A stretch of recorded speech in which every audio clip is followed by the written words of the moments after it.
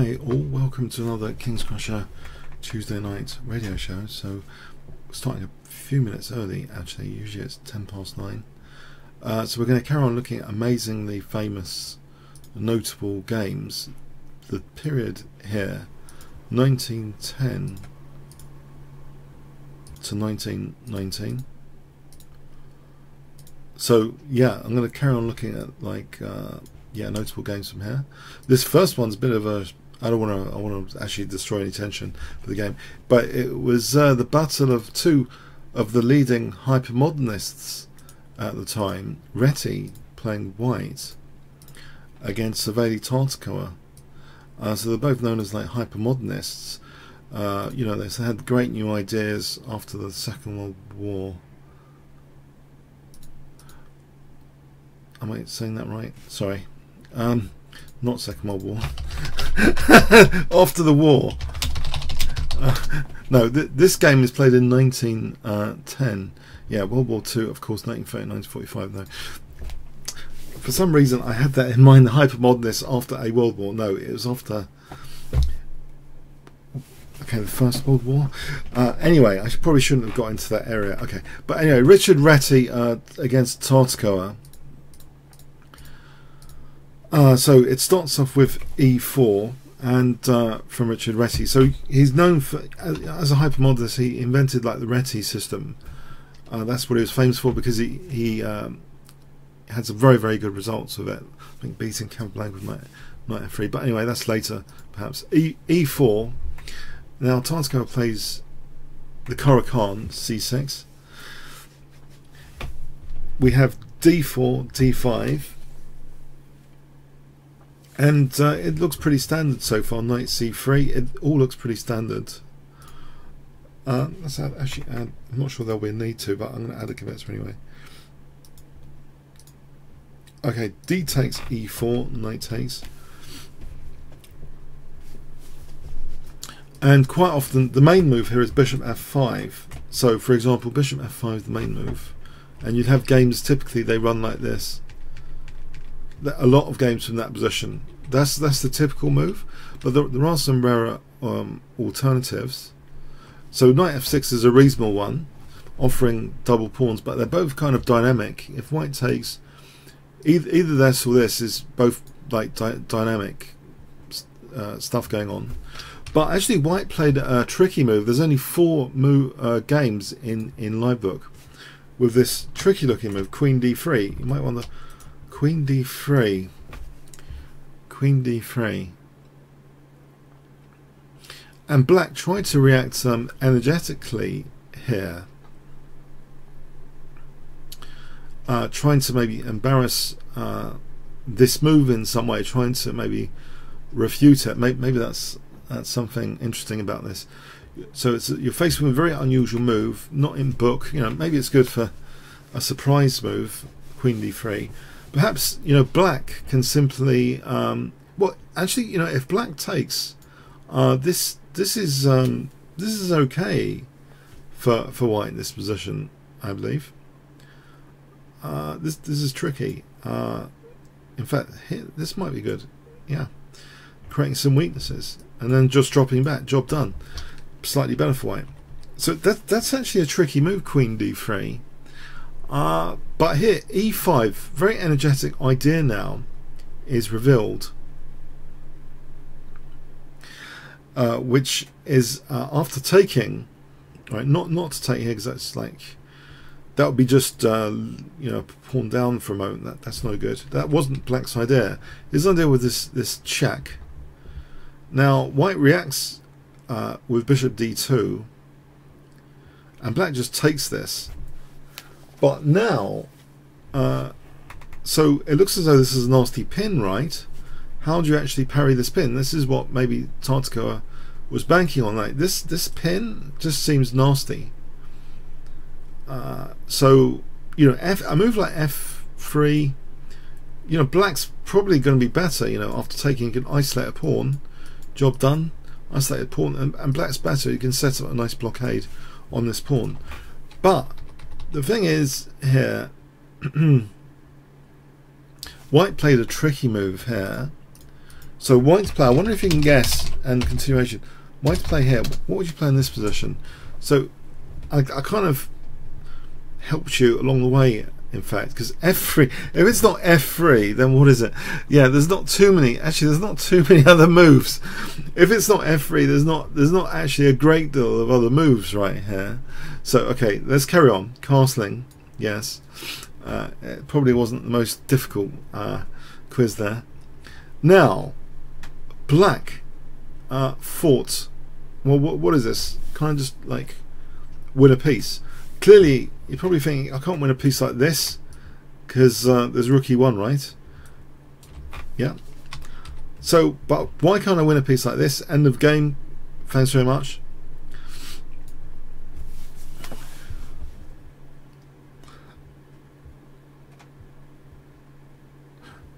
So it's it just seems that this is okay. This is a classic game. So yeah, yeah, okay. Uh, white play here. Okay, uh, I wonder if you can spot it. Uh, that there's a move here which actually um,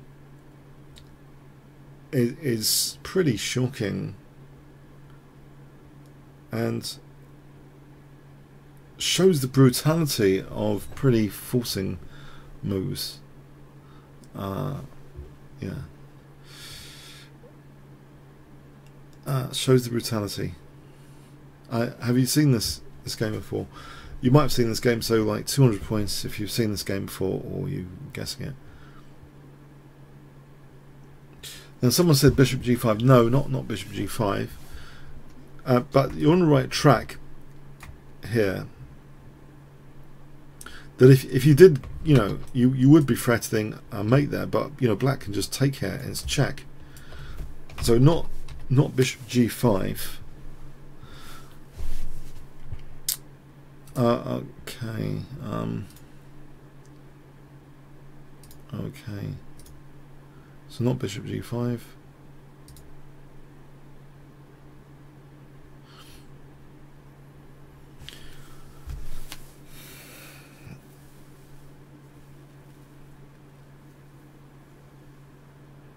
Okay, there's a very, very forcing move. Queen d8 check. Yeah, queen d8 check. So there's not too many options. There's, a, there's only one move option. But here, it's this. we often uh, distinguish types of check. Um, and maybe don't appreciate the power of the double check. I, I believe one of the big powers of a double check is it makes an even more forcing check, more clinical type of check, because there's even less options for the opponent because they've got to handle two checks at once. And usually the only defense to two checks at once is moving the king. So here, can you spot the killer double check? Uh, I might give it away. Uh, ki killer, um, killer move. What's the killer? What's the killer move? Here, which appears, you know, it shouldn't really be. Maybe in in some respect, uh, that it shouldn't be allowed to be this naughty. Chess positions shouldn't be this naughty. Um, now, if there's okay, I can either give you a thousand points or minus one thousand points, right?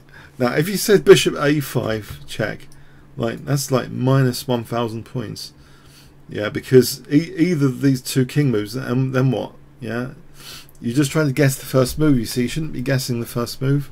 You should look at the whole continuation. Yeah, because what, what happens here? Nothing. Uh, you know, bishop d8 check and king e8.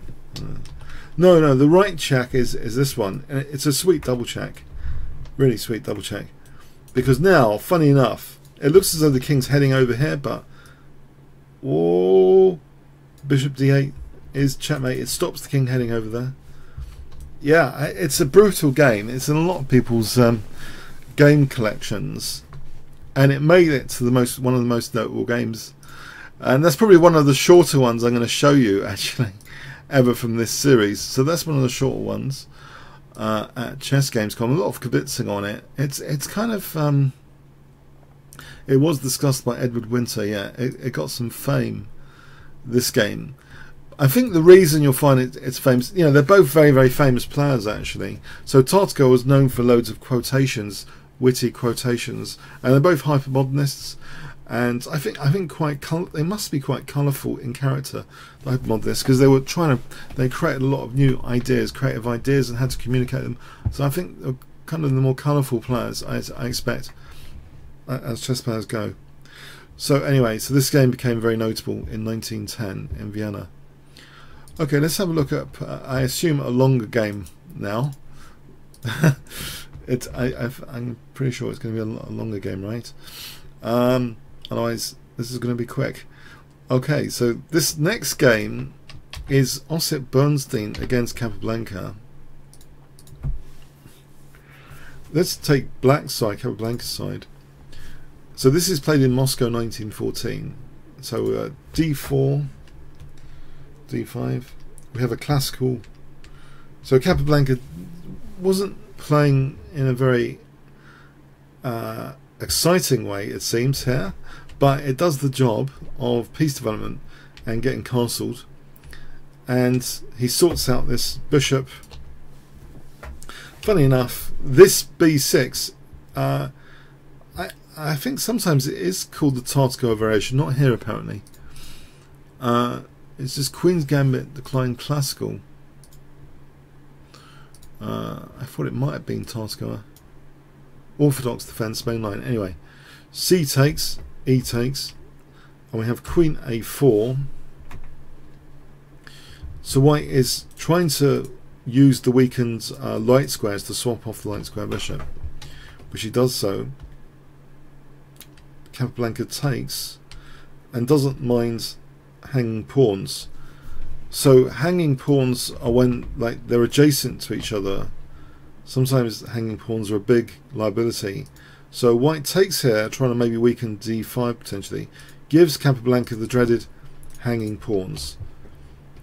But there's certain compensation here. This b file, for example, for example, the piece plays quite good. Of course, this dark square bishop could be dangerous later. Now, the objective, if you're playing against the hanging pawns, is usually to try and fix them down.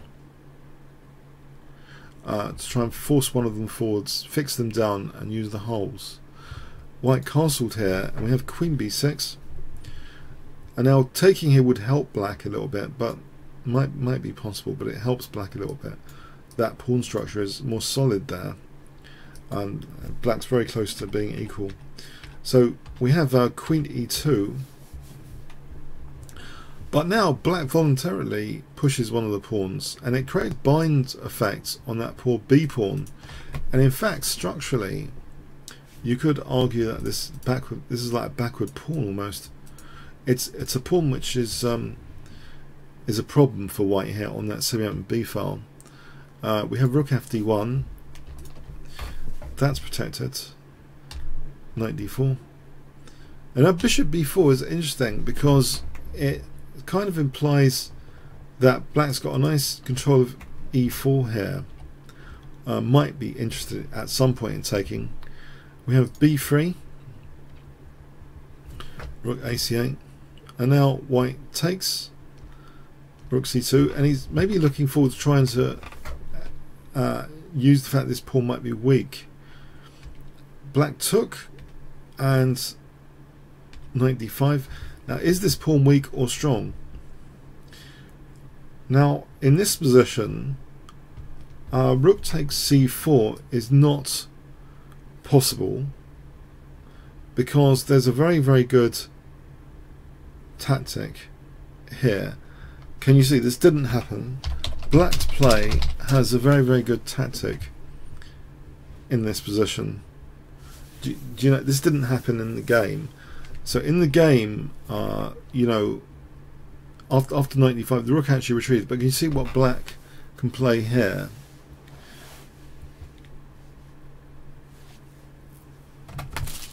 Any ideas?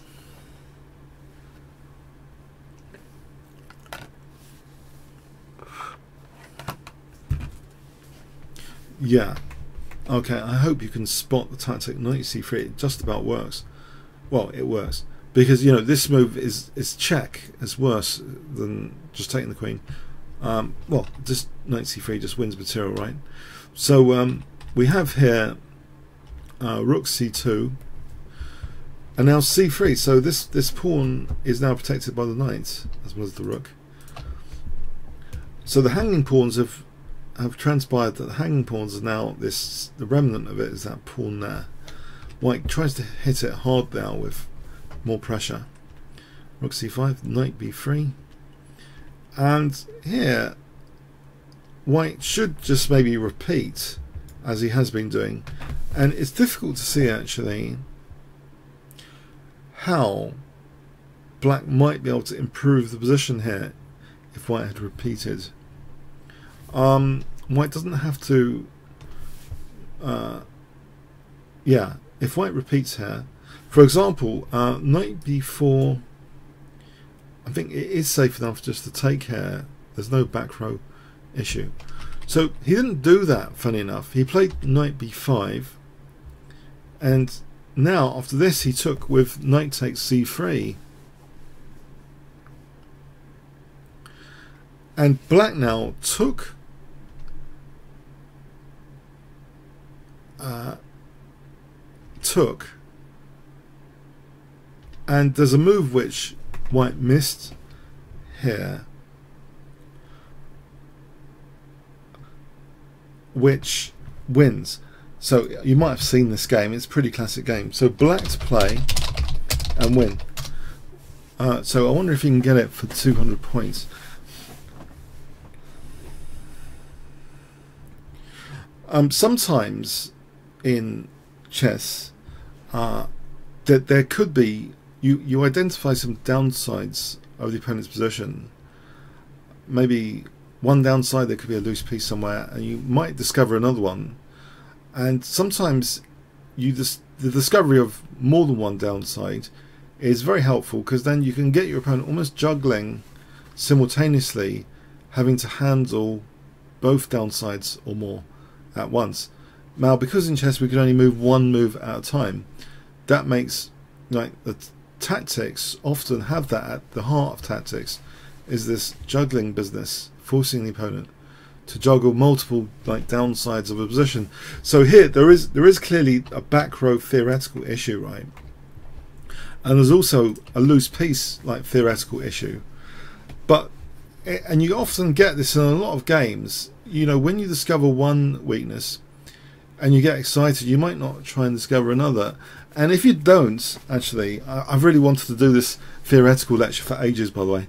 If you don't discover another downside, it could be a blitz game, or you, you play a suboptimal move, you'll find that the opponent has resources available just to cover that one aspect you might have uh, found a weakness. You know, and, and you're frustrated because you've only focused on one weakness, right? And you focus on the resources for one weakness. And you get really annoyed, yeah, because like Queen B1 check, unfortunately the opponent has a resource and you're really annoyed with their one move, they're able to handle that, right? With Queen F1. The thing is, Black's also got a downside here, so can't afford this because of Rook C8 check, and, and Black gets mated. So that's why a lot of uh, success, the successful tactics requires you to find more than one downside of the opponent's position to, to make everything work, you know, more beautifully. Well, the opponent with their single move cannot handle more than one weakness.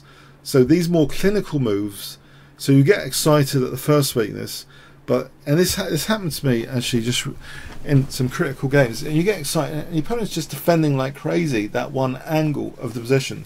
But when you get two angles of a position together, that you know, and you combine them, it's it's actually sometimes a magnificent aesthetic effect as well.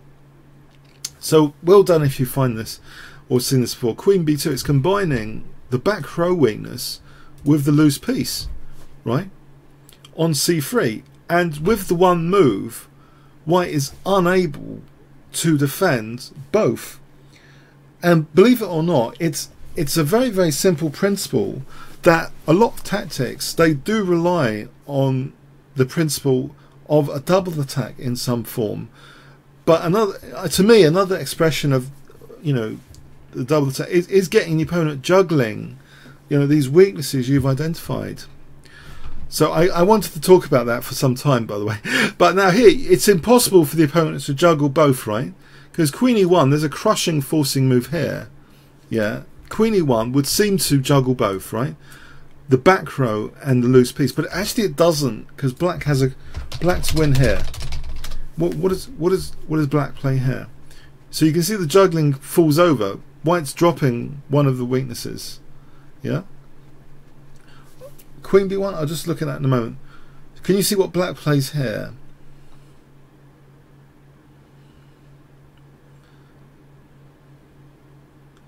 So black's play here.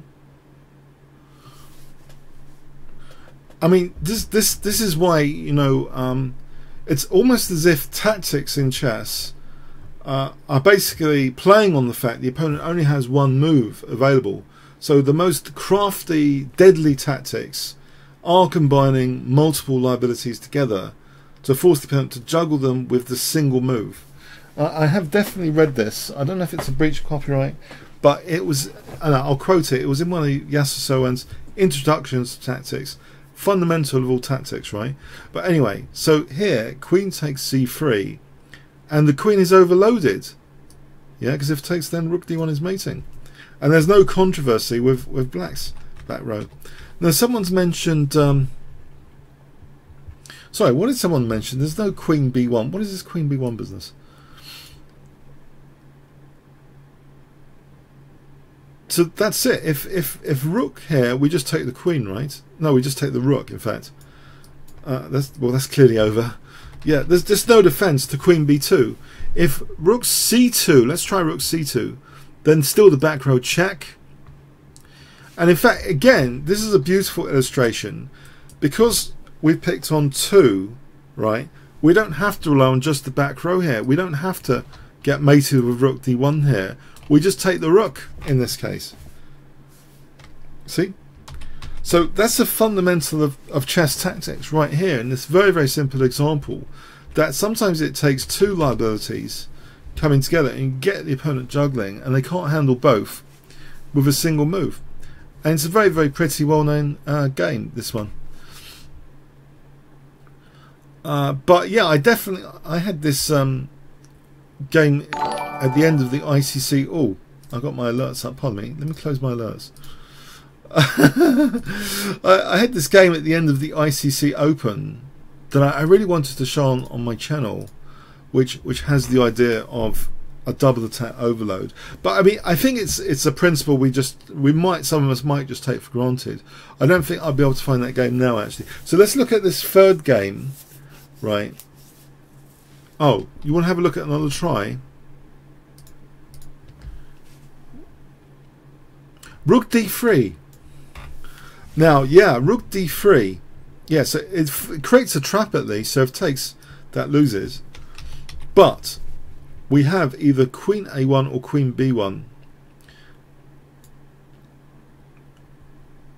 Because in this case, in this case, what we can do is play the check here and then take the rook. Yeah. Or the same with queen b1 we just take care. So yeah, it's a it's a lovely example of combining two weaknesses. Okay, all right. Let's have a look at another game then. Okay, Lasker against Capablanca. This is St. Petersburg 1914.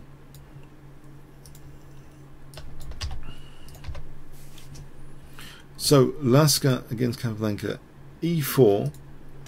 Let's have a look from the white perspective e5 and this was the last round game and people thought you know Lasker is getting on a bit wouldn't be able to handle the young Capablanca and he did something very weird. He like simplified because it was thought to be weird because Capablanca was thought to be really strong in the endings. So White played this line which essentially simplified and gave Black the bishop out of course he doubled the pawns yeah? Uh, so this looked harmless. Yeah, discontinuation. Until now, there's a hint. Hang on, maybe, maybe there's a point to this. Uh, this move because it does seem to be gaining space. But surely black's okay, right? But here after f6, f5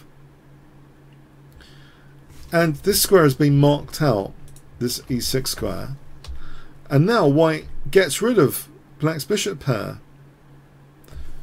Um, perhaps black's best would have been uh, to take and play sorry to take and play c5 uh, black should be okay here in theory.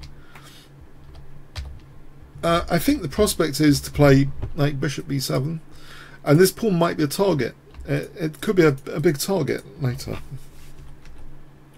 but maybe Capablanca was attracted to the idea of his pawn structure being fixed. And here, it here lies a bit of controversy, actually, because just just from a logical perspective, when we're in the world of chess, everything's not quite as logical as it sounds. Because why would you want to like take here, lose your bishop pair, to play c5 and bishop e7. It's all, it's all in the concrete analysis. I think it turns out that this is actually quite a downside of white's position, e4. Um, and in fact, with this move, white's fine now because actually he's given. It seems technically white's fine because white takes, and although it undoubles the pawns, there there is a target on the d file. Plus, this knight can come to e6 now. So this whole thing about e4, if you've got a gigantic knight on e6, then e4 isn't such a target. Uh, so we're going to have a gigantic knight now coming to e6 with tempo. So yeah, this is a position which, in fact, White has less to worry about uh, just he's he's basically it's almost like paradoxical. He he's undoubled black's pawns, but in doing so, you know, he's created the target on d6 and he's got this massive knight on e6. So if I asked you, was it worth, you know, what was it worth undoubling the pawns? What what would you say so far? You've you've kind of helped the opponent, or have you? Or have you given them new liabilities? Was it worth undoubling the pawns? I might have already biased you. Uh, what what would you say? Just yes or no. Evaluation. What do you reckon? Was it worth undoubling? You you could say the knight looks impressive on e6. Yeah. So. Yeah. Okay. Well, that's something to think about anyway. So rook a d1. And yeah, there's this target and this is gigantic knight and and Capablanca's now passive. He's actually got this horrible. The guy, the person with the backward pawn is Capablanca because really this one it isn't such a liability, even though it's theoretically backward. This pawn means it's not really an exploitable backward pawn, whilst this one is an exploitable backward pawn. So that's an interesting question about what is a weakness in chess. It's a weakness is only a weakness if it's like exploitable. What do we mean by that? It's the whole context of the position. So here, white is free to like, you know, double on on d6 uh, if he wants. Then he starts fixing, you know, against c5. He's fixing down, snuffing out counterplay. And he's like laughing here, saying, "Well, what are you doing here? What are you doing here?"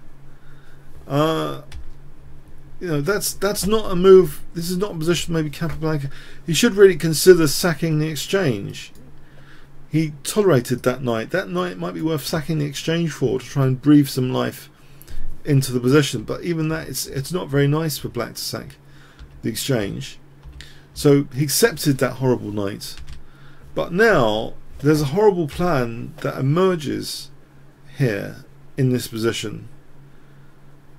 And it involves a key pawn break. Now I wonder if you can identify identify the key pawn break plan. Can you? What pawn break do you think is critical here? That white has available. It's not an entirely locked down position. Black might be interested, by the way, if black has a few moves, he's clearly putting in a bid for a5 as a pawn break. Now, what is white's um, kind of pawn break here, do you think, in this position? With the gigantic knight on e6 is the clue. Uh, so pawn breaks are often more effective when they celebrate existing fantastic pieces, like the knight on e6 is on g7. How can we celebrate this fact of this gigantic knight on e6? I wonder. Uh, someone's mentioned e5. and I'm not sure e5 does anything actually. Uh, or, no, actually, you've got a point. If taking, then it is bad. This is bad. If to actually not because of rook d7, although that's good. But actually, rook d8 is quite good here. With the threat of rook takes and rook d8 check. And I'm not sure what black does actually. What does black do? This is massive. This position, threatening rook takes and then knight d6 check. Hmm. Yes, tasty. Uh, if this this this is like losing for black. But the thing is, okay, e5 is very tempting, so give yourself some points. Uh, the thing is with e5, uh, f takes, and it's not entirely clear now uh, that this is crushing. You know, knight e4, d5, with check, king f6. Black should be okay here. No, that isn't that isn't the pawn break. Although it's immediate, uh, sometimes the immediate ones uh, are not so effective as the more delayed. You know, it's in fact this idea of g4, g5 to open the g file, which would celebrate the knight's g7. Because if we have a rook cooperating with the knight, this is going to be vicious. So g4, this is the pawn break to open up things. h6, and in fact, already the rooks are are celebrating in anticipation with rook d3 basically saying okay this might happen. And I might get either the G file or the H file either. So A5 H4 yep our rook is going to land to help the knight soon. Takes takes. Uh, now not too many entry points with that. You might think rook a3 this isn't played. Well white just ignores that with g5 it isn't played. We have rook 8 e7. So Capablanca totally tied down. And plays that, white plays king f3. Probably black's best practical thing is to take here. He didn't. Now white just improves the position again. And sort of teasing black about this g5. Now black, if black tries to stop g5 with g5 check here, then simply what would simply probably this is really strong. Because what would happen here is the pawns have fragmented. Job done. So this is a major target sitting target there. That that would be terrible this position because we've got sitting target there. We can't get rid of actually. Uh, it's just going to be lost.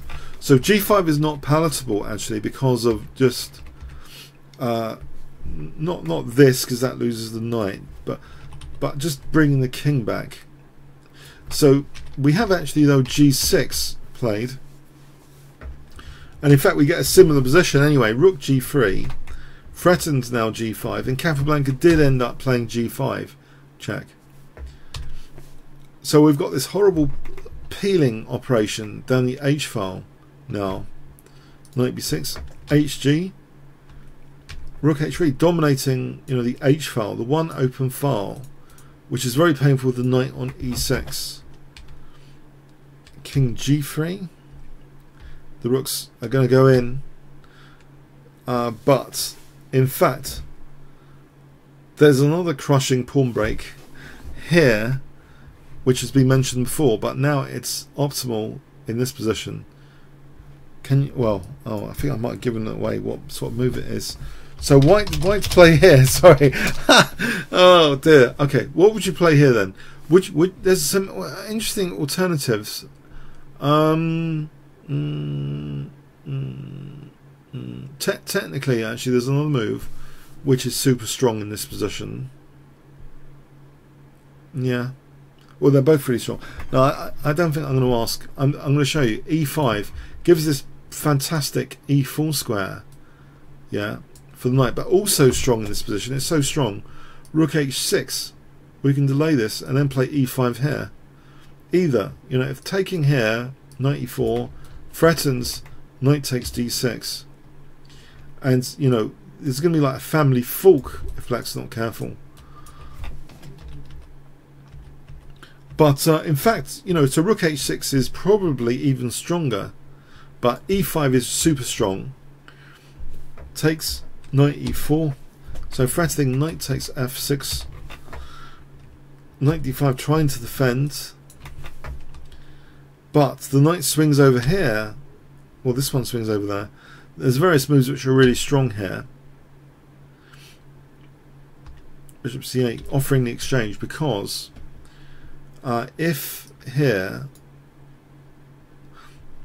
then knight takes and then knight d6 check quite a comedy of forks going on here uh, if here well same thing takes the knight d6 so black in the light of this horrible forcing move stuff uh, gave up the exchange here uh, knight takes and now the rooks come in rook h7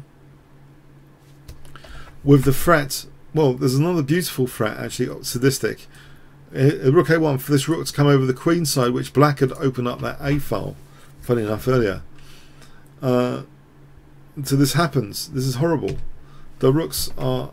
This is a humiliation game for poor Capablanca. He was the rising star, playing someone who was maybe thought people thought were past it, and he's getting. He's just got positionally massacred in this game completely tied down. The threat now, after knight c5, is is rook d7 check, and uh, you know that's that's horrible. Also, even knight e6 uh, is is another threat uh, for taking the bishop. So black uh, after knight c5, black Capablanca resigned so Lasker remains a bit of a mystery because people didn't find him that instructive, but he had fantastic results and great long longevity, long, longevity, sorry, longevity as a world chess champion. But people found his style pretty mysterious. But it seems, you know, sometimes, strangely, people say about avoiding the opponent's strengths and playing on their weaknesses. The choice of opening here is almost a paradox to that. He almost as if he played the opening to head for an endgame, maybe thinking sometimes people with certain strengths might overestimate their positions. Black clearly overestimated, but the key the key juncture of Black going downhill was probably uh, when Black didn't play Bishop takes f4 Maybe he didn't reckon on white fixing his pawn structure. There might have been an overestimation there. But it's a magnificent game by Lasker because he really gave black no counterplay as well. And so it does show this kind of paradox about what is a weakness in chess. Is a weakness something it has to be exploitable? So fixing the opponent's double pawns to make undissolved, you know, to repair them but if you get other targets which are exploitable, then fine. That might be the lesson, one of the many, one of the many lessons of this game. But there's also this psychological basis for it about going into the opponent's strengths sometimes if you think they can overestimate. That might be a an area of them losing, uh, which sounds weird, but maybe it's it's true um, to some extent. But Lasker was brilliant, like tactically and positionally, to be able to do this um, master psych psychologist as well. So, okay, I hope you enjoyed the games uh, this week. Okay, so thanks. Uh, if you like the video, please like it. And uh, have a good week. Uh, I think that's it this week. Thanks. See you next week. Thanks very much.